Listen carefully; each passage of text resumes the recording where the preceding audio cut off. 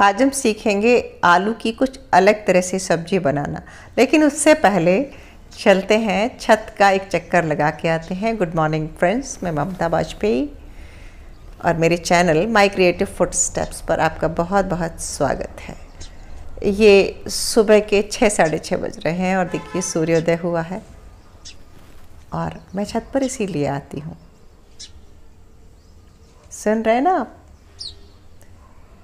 तो महानगर के शोर में शोर में अगर ये चहचहाट मिलती है तो इससे एक बहुत सुकून मिलता है। और देखिए, ये पर्सलेन पूरे बहार पर, आपको पता है फूलों को रंग सनलाइट से मिलता है। यदि आप ऐसी जगह लगा देंगे फूल जहाँ सनलाइट कम आती है तो उनके रंग फीके हो जाएँगे।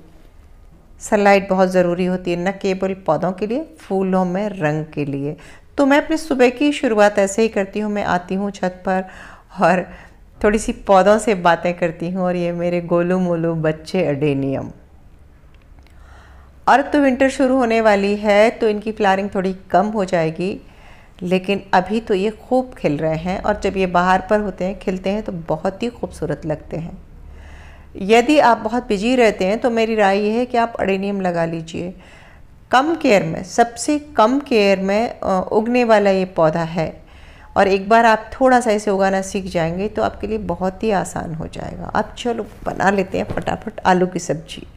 देखो, सब्ज़ी तो सब बनाते हैं, पर सबके हाथ का स्वाद अलग होता है और मैं कैसे बनाती हूँ, मैं भी कई तरह से बनाती हूँ। आज एक तरीका आपसे शेयर कर रही हूँ। चार पाँच आलू लंबे लंबे काट लिए और एक बड़ी प्याज, बड़े बड़े टुकड़ों में काट ली। और अब हम सूखी सब्ज़ी बनाएँगे। कढ़ाई में सरसों का तेल, उसमें सबसे पहले नमक, फिर जीरा और अब डालेंगे इसमें थोड़ी सी हींग और हल्दी। इसके बाद डाल दिए आलू।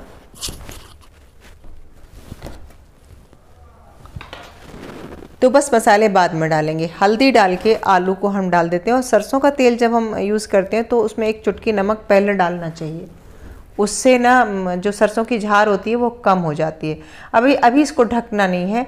दो से तीन मिनट हम इसको तेज़ आँच पर ऐसे, जैसे हम फ्राई कर रहे हों, लगभग वैसे ही कुछ।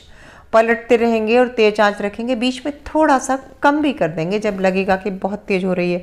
और आलू को काट के बहुत अच्छे से धो लें तो उसका स्टार्च निकल जाता है। अब डालेंगे नमक। स्टार्च रहने से कई बार कढ़ाई में चिपकते हैं। तो अब नमक डाल दिया और ये थोड़े से इसमें फ्राई भी हो गए हैं, अब हम ढक देंगे। तो ये बहुत जल्दी बन जाते हैं और बहुत टेस्टी बनते हैं, आप ज़रूर बना के देखना। अब मैंने ढक दिया है, हर एक मिनट में मैं खोलूँगी और चलाऊँगी, फिर ढकूँगी। ऐसा हमको दो से तीन बार करना है और लगभग चार से पाँच मिनट में ये हमारे नरम हो जाएँगे। आप देखिए भी मैंने प्याज नहीं डाला है। और क्यों नहीं डाला है वो भी मैं बताऊँगी। जब ये थोड़े से मतलब हाफ़ फ्राई हो जाते हैं लगता है कि थोड़े से गल गए, तब मैं प्याज डालती हूँ। तो उससे क्या होता है अच्छा चटपटा मसाला डालिए, तेज़ नमक डालिए, और ये जो ट्रांसपेरेंट सी प्याज हम जो खाते हैं तो उसकी मिठास आती है। तो चटपटा आलू और थोड़ी सी प्याज की मिठास, ये स्वाद को बहुत बैलेंस कर देती है। आप इस तरह से एक बार ज़रूर बना के देखना। अब मैंने प्याज डाल के भी ढका है और फिर चलाया है। और ये प्रोसेस दो से तीन बार करेंगे और और लगेंगे, तीन मिनट, चार मिनट और लगेंगे। कुल मिला के दस से बारह मिनट में सब्ज़ी बन जाती है और बहुत ही स्वादिष्ट बनती है। खुशबू आ रही अच्छी हो। देखिए कितने नरम आलू फट से टूट गए। अब नहीं ढकना है। अब ढक देंगे तो फिर ये हमें चलाने में टूटने लगेंगे। प्याज हमें सब्ज़ी में बिल्कुल ट्रांसपेरेंट ही, चाहिए। हमें बिल्कुल क्रिस्पी या ब्राउन नहीं तलना है। क्योंकि एक मीठा सा टेस्ट देना है और वो अपने आप में एक अलग टेस्ट रहता है। अब देखिए, डालें मसाले, धनिया, मिर्च और गरम मसाला और अमचूर। सब आधी आधी चम्मच डाला है। मसाले आप अपने हिसाब से कम ज़्यादा कर सकते हैं। आप इसमें थोड़ी काली मिर्च भी डाल सकते हैं, अगर तीखा पसंद है तो और आप इसमें जीरा पाउडर भी डाल सकते हैं। मेरा गरम मसाला घर पे बना हुआ है तो उसमें जीरा पाउडर है, इसलिए मैंने नहीं डाला है। बस अब इसको ज़्यादा भूनना नहीं है।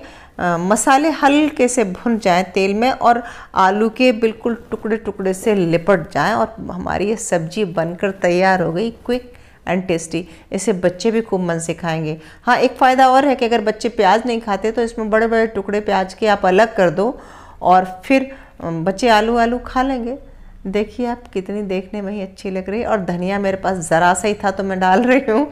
आप अच्छे से धनिया से गार्निश करेंगे तो मज़ा आ जाएगा इस सब्ज़ी को। और एक बार ज़रूर बना के देखिए इस तरह से प्याज, आलू। आलू तो सब्जियों का राजा है और मुझे उम्मीद है आपको बहुत अच्छा लगेगा। मिलते हैं अगले वीडियो में। नमस्कार।